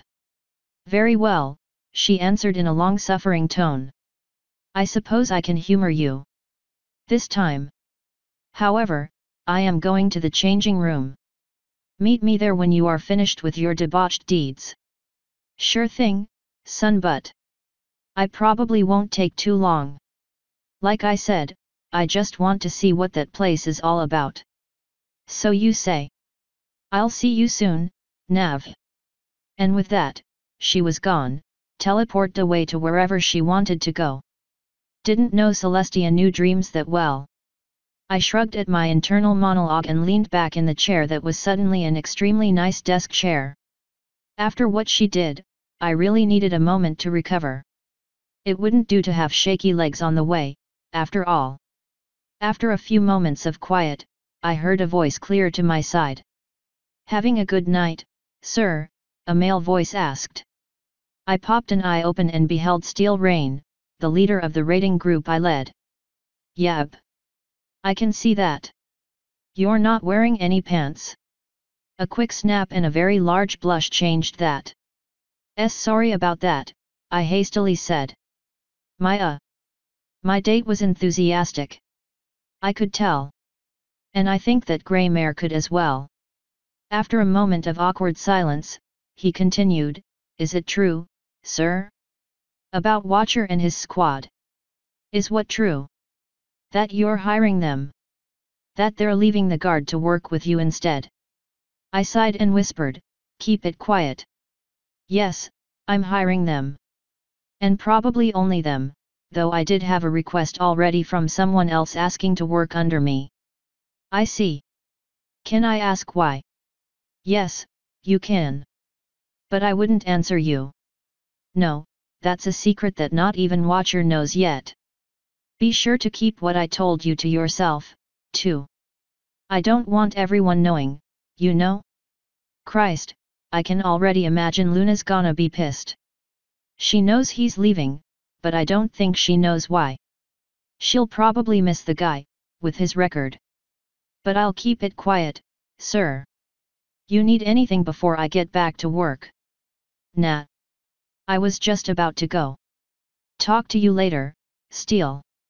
You too, sir. And then it was just me again. I hopped out of the chair, eager to get away before anyone else disturbed me or asked why I hadn't been wearing pants until just then. Onward I went, to the portal labeled Strip Club, wondering what new delights or horrors I had in store. When I stepped through to the other side of the portal, the first thing I noticed was the swirling mist of the ground, flinching away from my every step. Despite the fog, the room was actually relatively warm, something I'm sure most of the patrons appreciated. There still wasn't a roof over this building, but all the many stars were various colors and much brighter, casting a veritable light show of colors down on all the inhabitants. The moon itself was an almost bloody crimson, giving the entire room a pale reddish glow. Mares or stallions, Sir Navarone? I was asked by a doorman before I could examine the rest of the room. I snorted. Humans or dragons, if you have them. Lacking those, I wouldn't mind seeing the mares. The stallion lifted an eyebrow. I'll have to mention adding different races to the princess. She didn't think about that.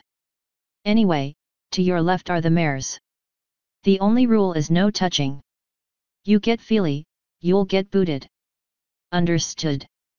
I'll behave. The guard nodded and shut up, giving me a chance to see the rest of the place. All of the portals out were lined up behind me, meaning everyone who came in had to go through this little process. Before me stood two large guards, presumably bouncers or doormen, seeing to the needs of those who entered. They stood before a long wall, encompassing the entire area. Two more portals were built into the wall, one with a sign saying mares and the other with a sign saying stallions. I stepped through the door on the left. This new room had the same lighting scheme as the previous, with the various colors all held within a red glow. Luna takes her red light districts literally. A large number of stallions littered the room in various kinds of chairs, clustering around a few tables with pole dancing mares and a few that forewent the pole to just gyrate madly. There was a bar on one side of the large room, but it didn't seem like it was getting much use. Only a single one of the dancing mares looked anything like a night guard, and she just wore the form of one midnight blossom. Several illustrious mares were represented, including Fleur de Lis, Spitfire, Rarity of all ponies, Sapphire Shores, Cadance surrounded by male night guards and Celestia. There were a few others, but I didn't know them offhand. Each of them was wearing lingerie, probably something copied out of Rarity's notes or commissioned directly just for the night. Not that I really cared, sexy is sexy, and at this point I'm so perverted that I don't care if it's a horse shaking her ass in my face. Even then, I walked over to the bar. I had seen plenty enough of Cadance, Celestia, and Rarity. Didn't care to see any of Sapphire Shores or Fleur. The mare pretending to be Midnight Blossom might see me up close and personal, but only for a little while. Spitfire was hot, but I still remembered her offer and I knew I could see plenty of her if I wanted. So how many of these did you get permission from? I asked the barkeep as I sat on a stool. Mm? The mares? Shoot, three of them are real. They figure every pony's expecting them to be in disguise so they can do what they want. Makes M feel pretty, all those stallions and a few mares ogling them. But most every pony else? Yet, we got permission. Kinda surprised you ain't got Luna up there. I figure she'd be down for that. I don't think she'd mind, but none of the guards want to risk it. Not even the stallion that volunteered to be a mare tonight dared. Hey! I can imagine why. Anyone get too rowdy yet? Nah. They all know it's a dream and they all think the mares up there are in disguise. Still, it's nice to watch them. Especially the captain, seeing her like that. How hard was it to get her permission for that? I asked, looking over at her dancing there. We didn't. I said most every pony else. Hat, she'll be in for a fun time next roll call. I can imagine. Anyway, what kind of drinks are you offering? Water. We got salt, if you want that. Does that even do anything to you? I season my food with salt. That's all the good it does me. You interested in offering some drinks or something in here? I wrote up a list for the bar and I can make a similar one here. He shook his head. Nah. Ponies want to get drunk, they can go to the bar. We want them to have fun, but to keep clear heads. No reason to risk getting any pony in too much trouble, after all. Fair enough. Hey, before I go, I don't suppose you can tell me who up there is real. Nope. Part of the agreement was that no pony would find out. I grinned. Hey, I'm not a pony. You can tell me. He sighed. Promise not to tell any pony, then. My lips are sealed. He gestured for me to move in closer. I did so. Sapphire Shores, Cadance, and Spitfire. And that's all I'll tell you, so don't ask for any details. Sapphire, sure, no surprise there. Spitfire? Well, everyone thinks she's hot and she has to like being in the limelight if she's the Wonderbolt captain. But Cadance? Wonder if there are problems between her and Shiny. I'll have to talk to her next time I see her. Don't worry about a thing, I said, leaning back. I'll keep that to myself. Anyway, time for me to bail. Have fun. Fun. Right. See you, sir. I decided to stop by the main room again before I caught back up with Celestia. After all, seeing how the party was going was never a bad idea. Besides, I was feeling something really weird in the dream and I wanted to see if I could find Flo or Luna and ask either of them if they knew what it was. When I got into the big room, I didn't see either Luna or Flo. I did, however, see something that horrified me more than either ever could, a hint of a red glow around one of the guests before the pony in question jerked his head to me. That was all I had time to see before the fellow appeared right in front of me, flying toward me. As soon as the vagrant tackled me, we teleported so high up that the party room was a mere speck below us. Thankfully, he paused as soon as he touched me, giving me time to throw the fucker off and summon forth a submachine gun. Wait, an all-encompassing voice screamed at me, so loud that I lost my concentration and the gun disappeared. I think my eardrums almost broke and I covered my ears, squeezing my eyes shut and nearly falling down didn't stop the vagrant from continuing to talk, sending the words directly to my mind. I am sub-process AI number 255, guarding the dreams of the sub-race pony. What word is there from outside, master? I forced my eyes open. W what? I whispered. The thing that tackled me was a pony no longer. Now it was a translucent human, glowing a pale red. Its eyes were fixed on me. When I spoke, its head tilted. More data required? This unit travels the matrix of the dream machine Morpheus, enacting the directive left behind, destroy all external influences that are not human in nature. I am the artificial intelligence, number 255, one of 10,000 guarding the dreams of the new races and one of 100 guarding the dreams of ponies in particular. We have been cut off from contact with new directions and our masters for invalid input years. You are the first contact we have had since then. What are your orders? I blinked a number of times, trying to figure out what the hell he was talking about. Where? How did you find this place? There are hundreds of intelligences in this bubble. It is a beacon to all of us. I had come to destroy the creator of this prison to release the minds of those that are trapped. The Great Destroyer will not corrupt any of these creatures while we are active. Uh, maybe he's talking about Discord? The situation here is, under control. Have you ever, dealt with an uh? An intruder that looked like a pony? Dark blue, long flowy hair. This disguise is known. This unit has not dealt with it, but the form is in the database, under attack on site. Ahoy! Listen, can you, like, take her off that list? Negative.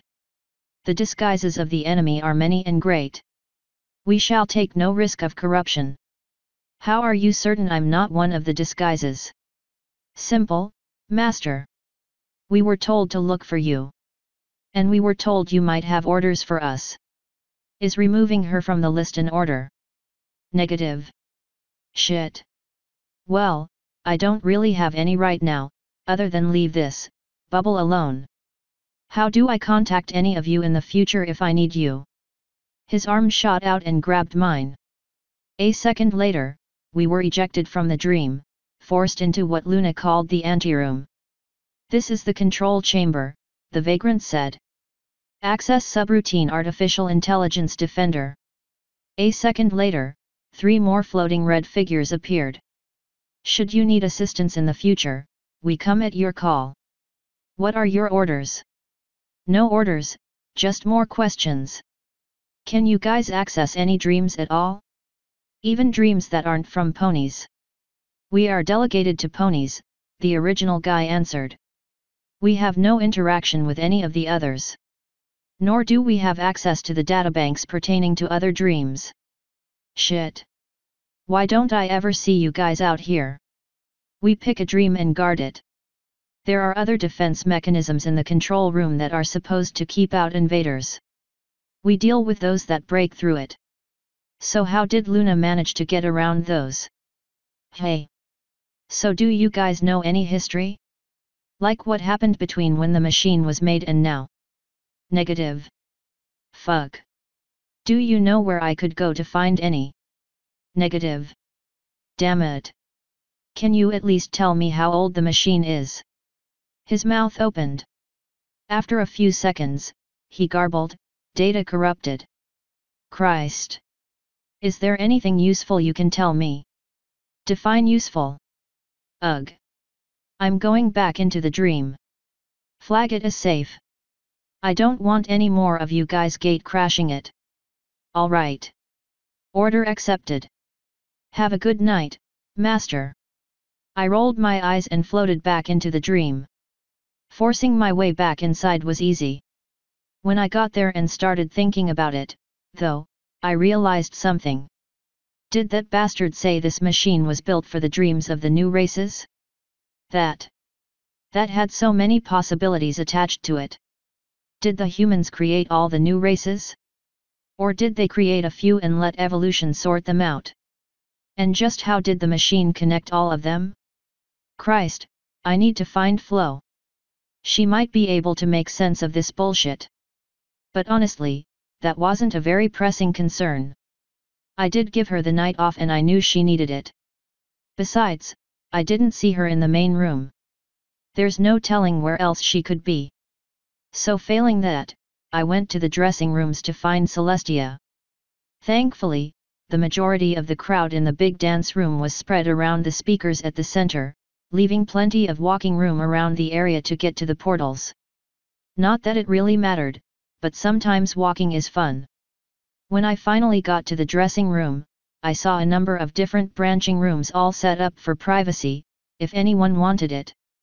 I don't honestly see why it mattered, given the damn ponies don't wear clothes anyway, but whatever.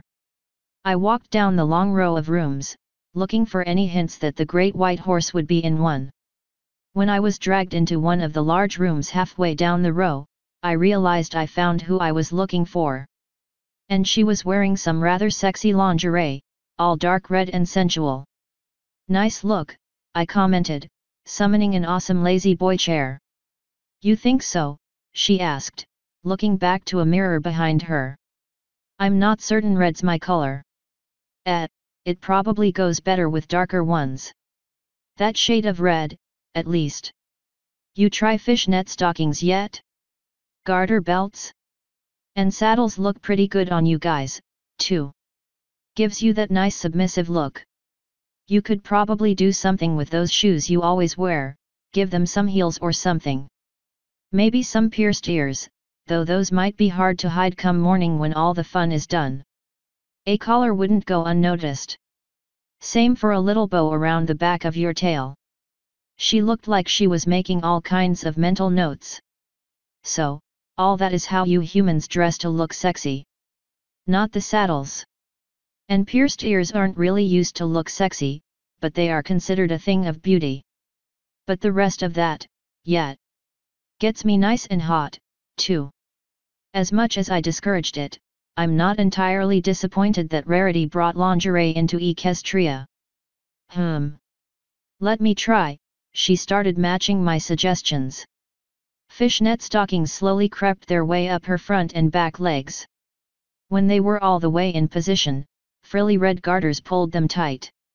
A little bow slowly appeared around the base of her tail, holding it up nicely. A saddle built itself up around her back, tightening against her belly. That would probably be uncomfortable with wings. She didn't bother with the earrings, but a collar did appear around her neck and garter straps pulled taut between the saddle and her stockings. I nodded in appreciation. Yeah, that's pretty fucking hot. What about the shoes? After a second, richly decorated silver horseshoes appeared on her hooves, giving her another few inches in height. Yup. I'd fuck you. She grinned in delight. I'm very happy to hear that, though I didn't think it would take clothing to make it possible.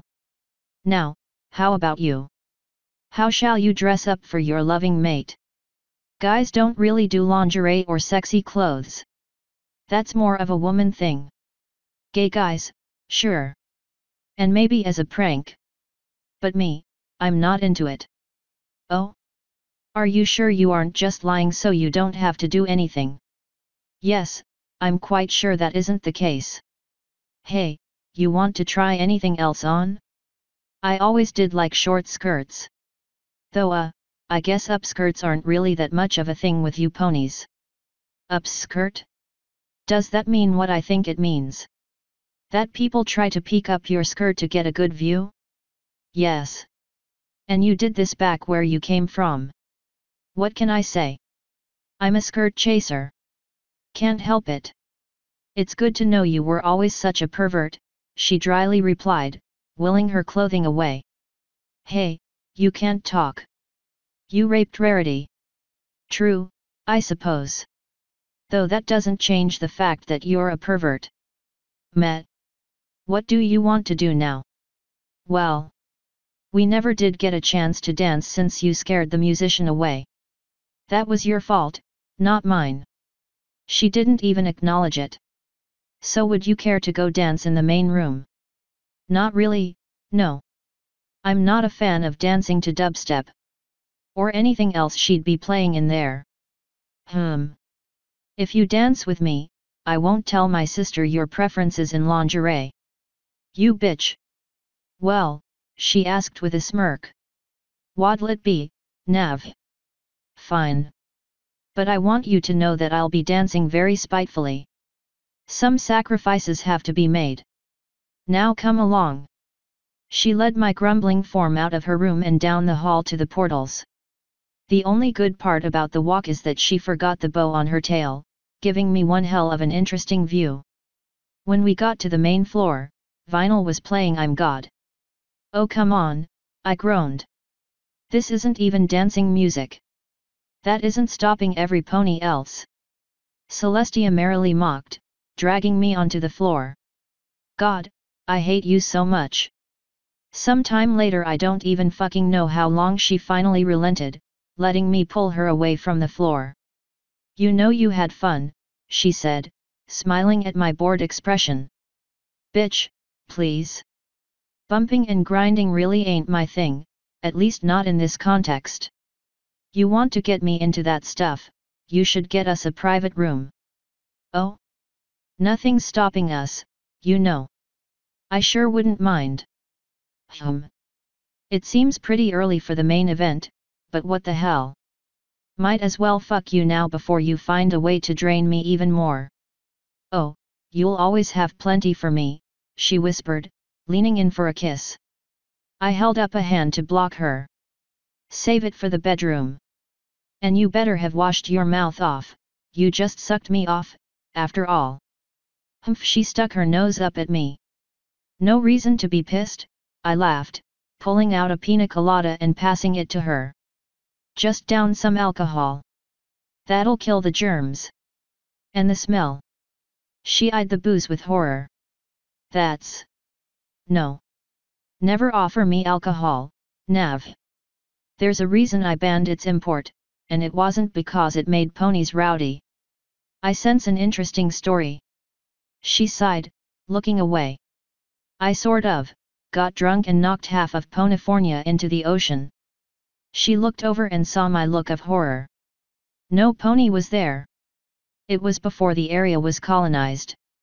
I went with the explorers and the natives there had something they called firewater and The rest is history. Or rather, it would be if there were any mentions of it left in history. So, how? She looked away again. We don't talk about that. I opened my mouth to reply, but couldn't think of anything I really wanted to reply to that with. So instead I shrugged and said, So, you wanna go fuck? That would be nice. Private room. Private room. Let's go. With her behind me, we both walked over to the portal leading to the rooms. When we got to them, I put my hand on her neck and led her through. The room on the other side was like a decent hotel room with a single king-sized bed. After a second of thought on Celestia's behalf, the bed turned heart-shaped. Score. Always wanted to try this. Nav, do you mind if? Well, can I blindfold you for a few minutes? I swear I won't do anything you won't like. Sure, I guess. Don't really see why it matters, but alright. Darkness enveloped me and I stood stock still, not wanting to possibly trip over something. Of course, if you do something bad, I'm going to be extremely pissed. You might be older, but I wouldn't be surprised if I know more about dreams than you. You'll be getting a very tough spanking. Spare me, she dryly said, walking to the bed. I heard her plop down on it. She adjusted some before whispered, Come on over, Nav. I slowly walked to the edge of the bed, feeling with my arms so I didn't slam my shin into something. When I got to the edge, I stopped. Now, lean in. Shrugging, I did as she asked, expecting a kiss any second.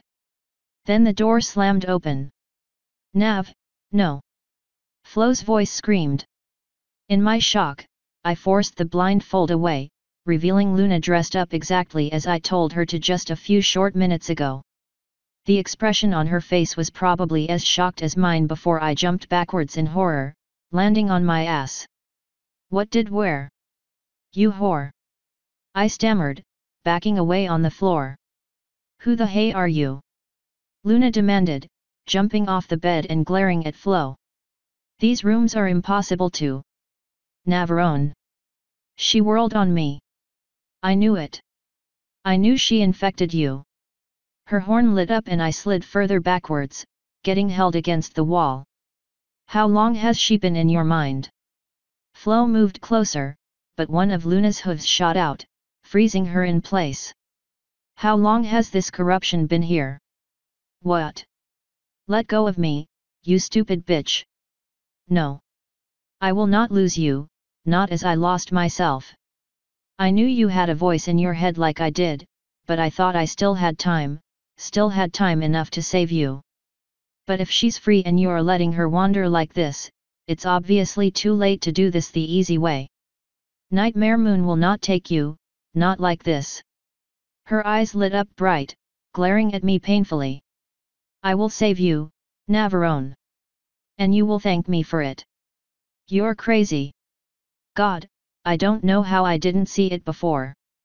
I can prove to you that Flo is not only real, but she's here to help me. How? What could you possibly do to prove this? I can't get anywhere near your mind, not with that influence there. And I wouldn't want you anywhere near it. You just spent all night lying to me. I never once said I was Celestia. I just let you assume. But that is neither here nor there. That influence must go and I know just how to do it. Celestia and I have been debating doing this for a while, just to see if it would help you. But now I see no choice. It is time for the elements of harmony to be assembled. They. Hell no. I know what they did to Discord, you crazy bitch. And I know what they did to you. I'm not turning to stone and I sure as hell ain't going to the fucking moon. You can go eat a dick, because I'm out. With that, I finally used the dream magic to force myself out of the dream, into the anteroom. When I was free, I reached a hand into the dream, where Luna was looking around in shock, and grabbed Flo, ripping her out with me. She immediately reabsorbed. Access Subroutine Artificial Intelligence Defender. Three of the AI things immediately appeared. This dream is in lockdown. Nothing gets in, nothing gets out. Understood. Yes, Master, all three instantly replied. I jumped out of the dream, pulling myself out of my waking dream state. When I got outside, I saw one bat pony hovering over me, licking her fangs. I blinked until I could see Midnight Blossom more clearly. She gasped when she saw my eyes fully open. I. I can explain. Don't care. I rolled over, grabbed my jacket, and jumped to the door. Strangely enough, my belt was undone, but I was in too much of a hurry to care why. I hastily threw the door open, buckling my belt as I ran down the hall to the entrance of the palace. When I didn't have to worry about my pants falling down anymore, I threw my jacket on, finally getting to the entrance. I let myself out and continued sprinting, ignoring all the questions of the guards, until I got to the very edge of the castle on the very side of the cliff face going straight down. With no hesitation, I leapt off, falling straight down toward the dark lake below me. What just happened? Flo asked as I fell. Luna went fucking crazy, er. Obviously. But she was calling me Nightmare Moon. Do you really think she's so paranoid? Yes. Bitch is crazy. Crazy bitches do crazy things. Fair point. What are we going to do? Running is the obvious option. But how far do you think we'd get? If we run on these terms, Celestia and Luna will both be after us. No, I have to convince her that you aren't here to corrupt me. How? If she refuses to look in your mind, there's no way you can. The laptop. That's all I can do, now. Show her the laptop, and hope to God it works. I heard Flo slowly sigh in my head. I hope you know what you're doing, Nav. This could. Well, it could end poorly. Oh, I know. Christ, how I know.